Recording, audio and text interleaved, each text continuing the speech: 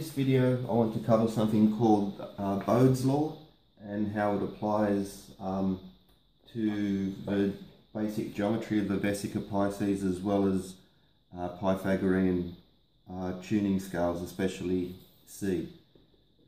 Now if we go to uh, World Book, um, this is where I first heard uh, Bode's, Bode's, laws, Bode's Law mentioned and uh, Bode's law is a scheme for representing the approximate distances of the planets from the Sun.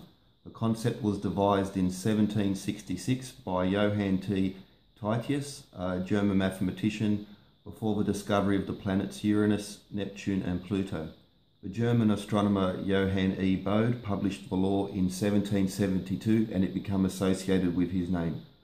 Bode's law operates according to a simple formula take the numbers 0, 3, 6, 12, 24, 48, 96, 192, 3, 8, 4, and 7, 6, 8. These, I'll write these in because um, these follow on. Also we have,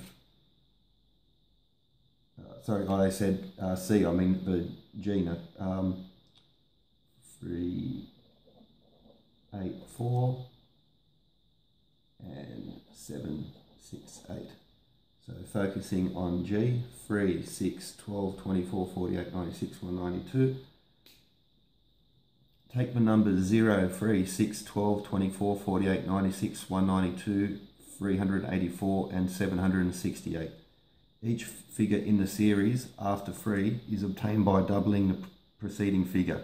Add 4 to every number and then divide each sum by 10. In the table below, we'll see um, uh, just how well this works as well as where it doesn't work. But um, the inconsistencies are actually um, uh, work well with the reality of the solar system. And so let's just get stuck into it and begin. Now, do, and while I'm going, I'll do a illustration as well. Just okay. So what? Basically, here I'm gonna just to help. Okay, so this is the sun, and what Bode's law does, um, what is in a very accurate way describe where the planets are in re relation to the sun. Um, Kepler's three laws goes a lot, a long way to explaining um, elliptical orbits, uh, equal areas in orbits, and the um, and how the uh, um, pardon me the rotation um, periods of there, but I won't go into Kepler's three laws now. That's but if you're interested, Kepler's three laws, it's a good um, some basics to understand with now. So we have the sun, and what I'm going to do is draw a 28 centimeter line. Uh, it could be, it doesn't have to be centimeters, but just 28 units. And, and I want to mark 4, 7, 10, 16, and 28.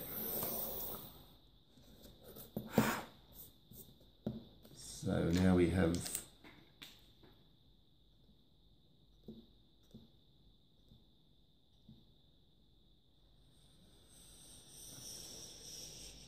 Okay, so how does this apply to the planets? Let's begin just with the basics of, of geometry. Now everything comes out of the circle. So here we have one, the circle, the circle has zero corners. We go to the next construction and we're going to do a Vesica Pisces.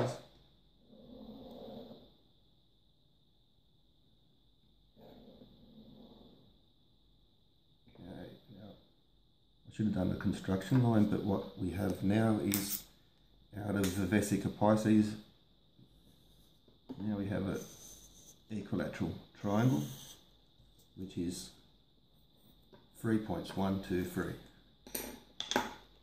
Uh, you could do the same construction with vesica, but just as a just to illustrate it, I'll show how it grows. So we're going to do a vesica Pisces.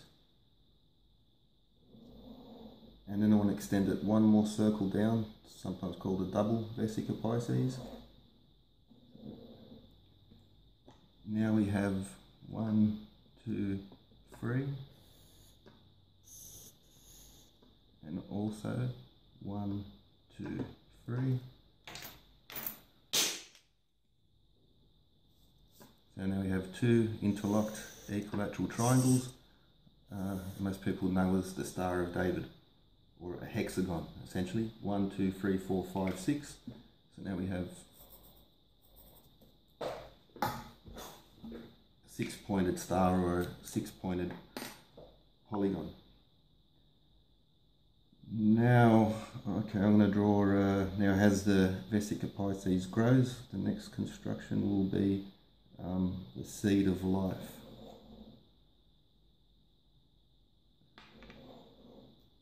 And so I've drawn a Vesica Pisces. Now, where the two circles intersect, where we put our point intersect again, just the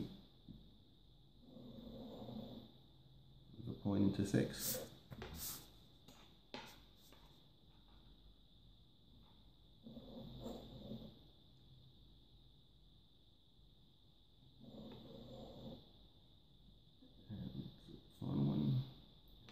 So now it's um, we have what's called the seed of life. Seven circles or six uh, around the core.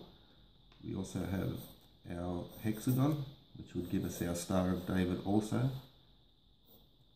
But we also now have these six points, which bisect the hexagon. So I'm going to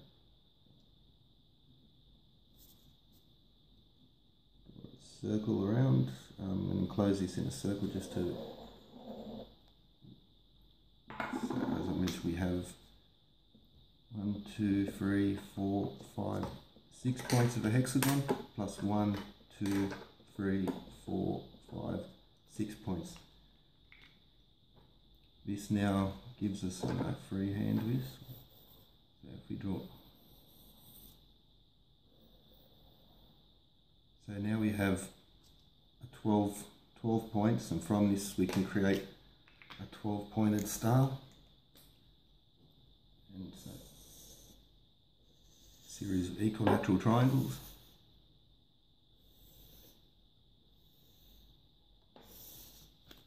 Change colour to make it a bit easier to visualise.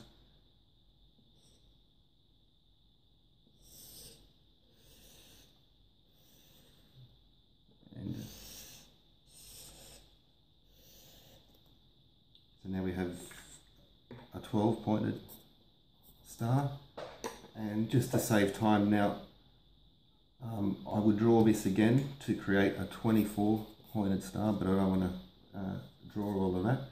It's um, where these points intersect. So we're bisecting the 12 pointed star, and from that you would create your 24 pointed star. So to go back to uh, G, 3, 6, 12, 24, 48. So from the circle, the triangle, Star of David, 12 sided, 12 pointed star, 24. The next would be 48, 96, 192.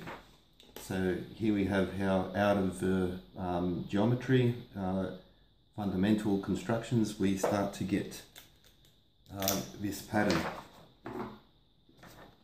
So tuning, G, geometry, as with all these was with what's all interrelated. Uh, 2,160 miles is the equatorial diameter of the moon within 99.4%. 864,000 miles is the equatorial diameter of the sun within 99. Now in other units as well, so these are basically the, the core numbers in esoteric design, esoteric symbolism, and uh, architecture now. So we're going back to Bode's law to explain how this geometry actually seems to describe the distances uh, that planets are from the sun and from each other. Um, but this, this is one of the um, outstanding questions in astronomy, and um, only in recent times has it been reborn with um, uh, planet hunters. are try, they're now using this principle to find the Goldilocks zone to find inhabitable, in, inhabitable planets in other solar systems. So here we have Mercury.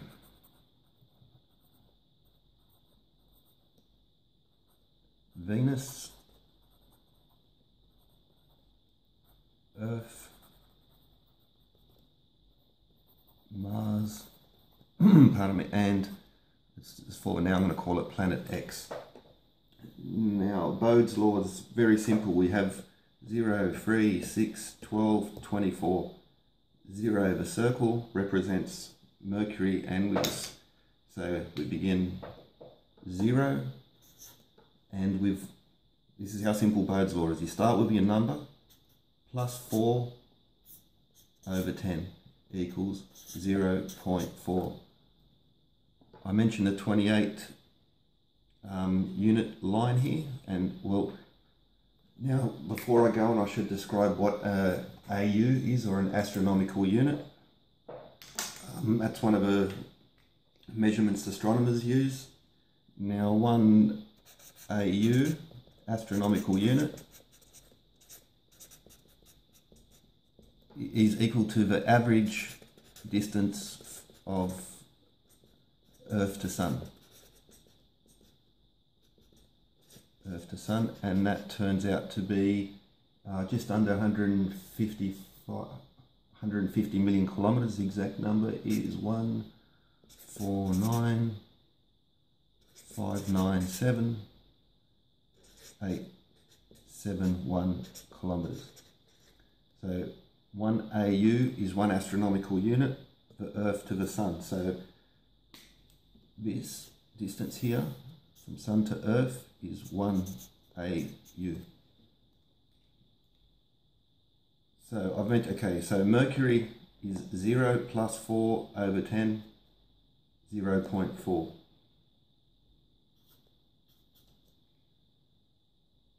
Um, now, Venus, the next is the equilateral triangle, three-sided poly.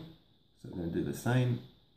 Now, instead of 0, we're going to add 3 plus 4 over 10 equals 0 0.7. Earth, the six-pointed star. 6 plus 4 equals 10 over 10 equals 1. 1 astronomical unit.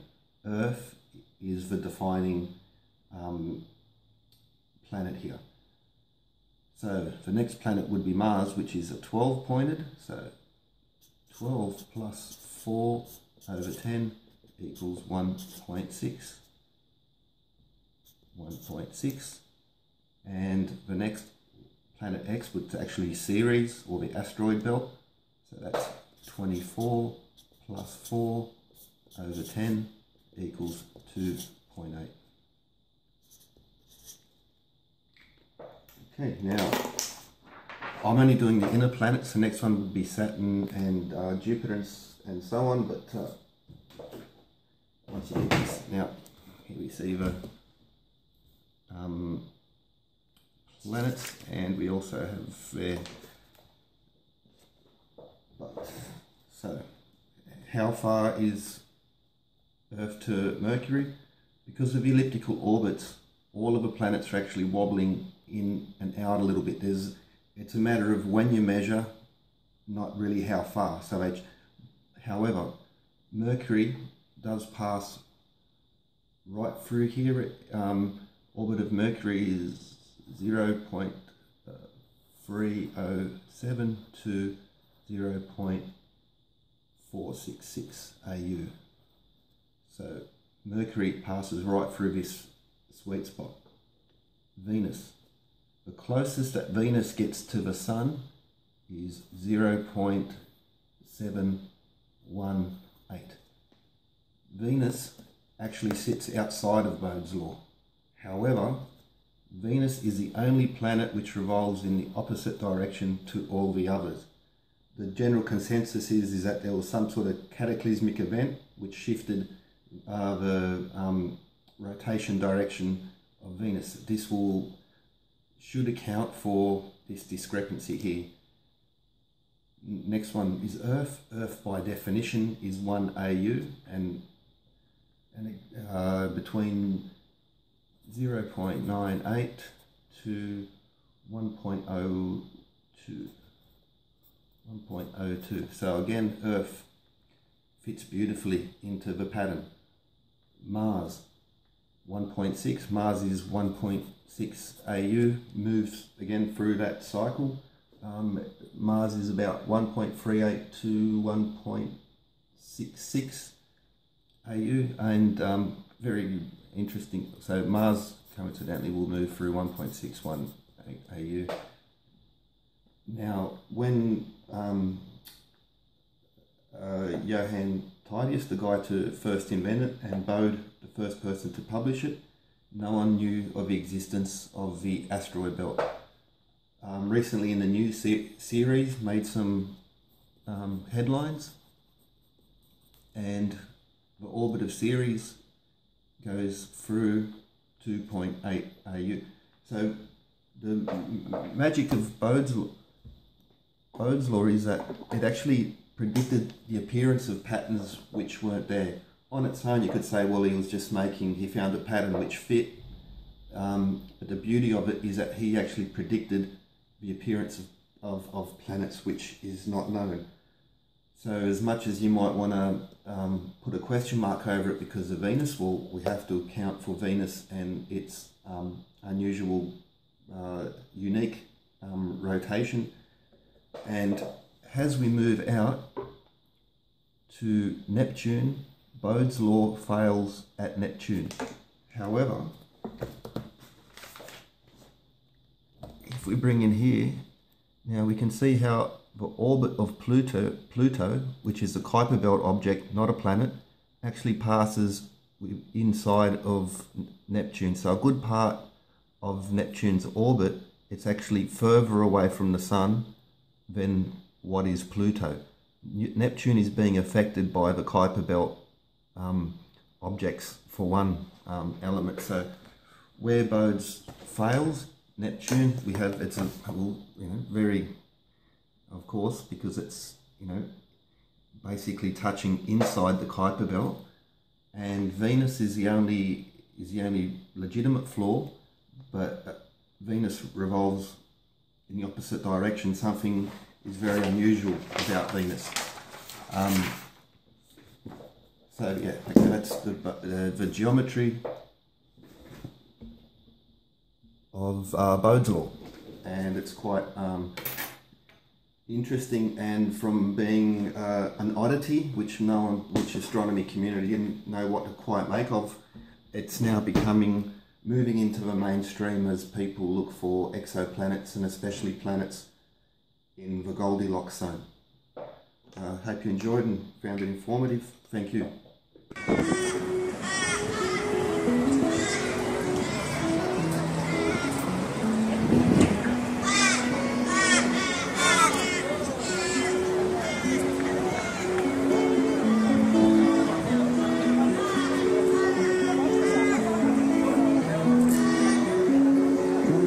Sus sapin sigo sangra